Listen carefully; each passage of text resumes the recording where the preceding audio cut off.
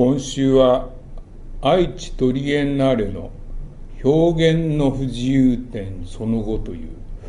展示がまあ大した話じゃないんだけどすごい騒ぎになって、えー、取りやめになっちゃうという事件が話題になりました。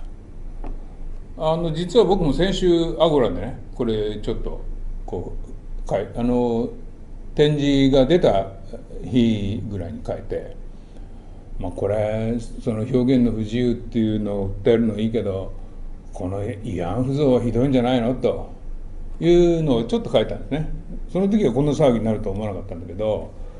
で結局そう愛知県知事まで出てきちゃってその展示全体をやめちゃうということになったんですけどね。僕全部やめたのは過剰反応だと思うけどやっぱちょっとそのあのいわゆる症状像ねあれはちょっとまずいと思うんですよね今日韓でそのいわゆる徴用工問題揉めてる最中なんですから。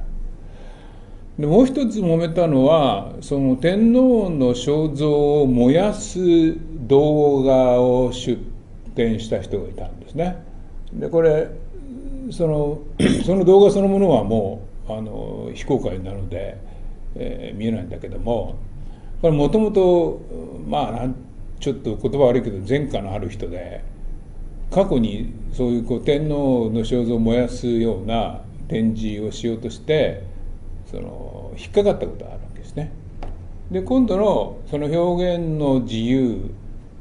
自由点その後っていうその後ってついてるのはもともとそういう表現の自由点ってのあったわけ。でそれはそういうこう、まあ、引っかかったもんばっかり集めてこう、まあ、いわゆる前衛の人たちがねやってたわけだけどそれを今度はその公設の美術館でやろうということだったわけだからそれはトラブルが起こることは目に見えたわけですよね。でそういう覚悟をするなら別に僕はそれはそれであいいと思ったけどもうなんかガソリンまくとかっていうのがファックスで来ただけで慌ててもう3日でやめちゃうと。で僕はねこの話はもうそもそもその表現の自由不自由というのを批判するっていう試みだったら、まあ、この程度のことは織り込み済みだったはずですよね。でまあちょっと僕は慰安婦は話が違うと思うんだけどもこの天皇の肖像を燃やすなんてのはもうこれ典型的にあのいわゆる前衛の人たちの好むテーマなわけよ。しかもこれいっぺんやられてるわけですよね。止められてるわけ。でその止められたのは静止画なんだけど今度はそれの動画版を持ってきたっていうわけよ。でね 僕はある意味で今回のような騒ぎが持ち上がること自体が日本でいかに表現の自由があるかっていう証拠だと思うんですよね。これね国家元首の肖像を燃やすなんてねそんなことやったらまあ、北朝鮮だったらもう即刻銃殺だろうし韓国でもおそらくそんな展示やめる程度のことで済まないですよ。まあおそらく逮捕されて起訴されて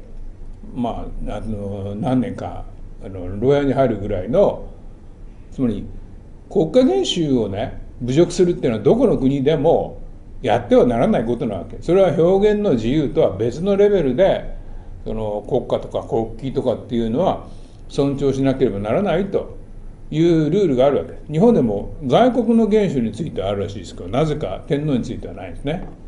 でそれは日本でね戦前にその治安維持法っていう法律があってそういうこう、まあ、いわゆるご神縁をですねこう傷つけるようなあ不届き者をこう刑事訴追するっていうことが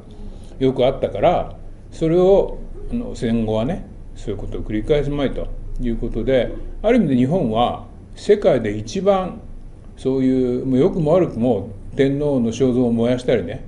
そういうことができる国なわけですよ。でそれをねなんかこうちょっとそういうこう跳ね上がりの前衛美術家がこうなんか勘違いしてねその表現の自由っていう憲法に保障された権利とその国家元首を傷つけるっていうこれもある意味で普遍的なルールなわけだけどそれをごちゃごちゃにしてね表現の自由だから何してもいいんだろうっていうふうにやったのが今回の発端なわけね。僕はねまあある意味で今回のこういう騒動が起こること自体が日本がいかに表現の自由があるかということを示したと思います。